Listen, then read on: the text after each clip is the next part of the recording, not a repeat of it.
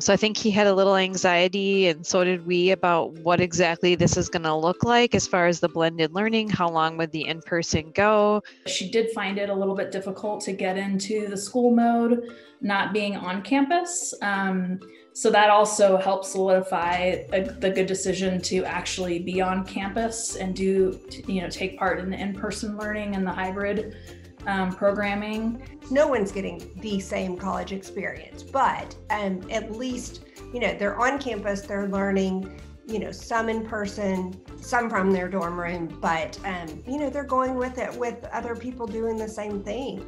The professors have adjusted to it, and I, I think they've done a really nice job of that. So even when there was a potential exposure, the professors with the labs quickly pivot and say, okay, well, all right, so you can't be on campus for X period of time. Let's cover this now. And then when you come back, we can cover that. So the faculty's shown flexibility associated with that too. Part of college is socializing and meeting new people. And when you're not able to do that or it's constrained, that makes it's pretty hard.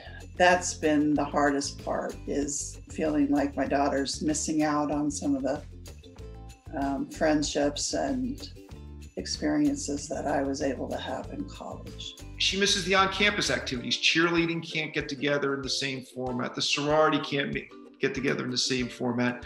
The normal flow of social interaction, be it on campus or off campus, isn't happening.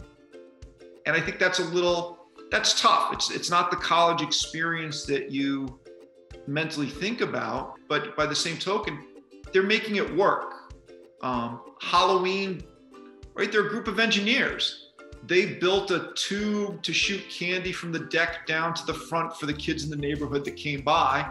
I, it was a hard, really hard, I think, as a parent, especially as mentioned, he has a twin sister who's also out of state school, and these are my only and first to go to college. So the whole thing has been high stress, but I think it is turning out to be high reward, and we're glad that they both went forward with it. A lot of students kind of go through a sophomore slump and kind of face some challenges, but she seems to have more risen to the occasion. So that makes a parent feel good that they're in their zone and she's in the right place. Has done a really good job of um, kind of melding what they need to do to keep the community safe is with the health department and, and Jefferson County, as well as kind of what their desire is on campus to have kids on campus and in person learning opportunities. I think that they've struck a nice chord between um, working with all the community stakeholders on making that possible.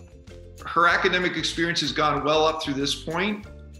It's a scientific school. I believe they're making the right decisions given the data on hand, they're factual based decisions. And it's working well. I, I don't worry about her health in the Golden community or on the Mines campus. She loves Mines, and I said, if you like it like this, then you're going to love it when things are more normal.